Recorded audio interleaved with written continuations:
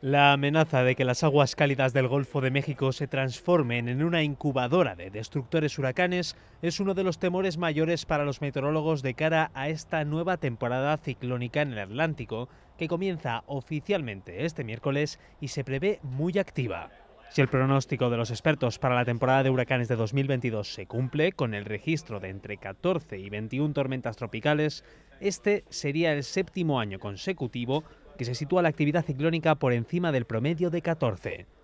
Como muestra, se puede tomar la actual situación. En el sureste del Golfo de México se encuentra una gran área de tormentas que podría devenir en los próximos días en la primera depresión tropical de la temporada de huracanes en la cuenca atlántica.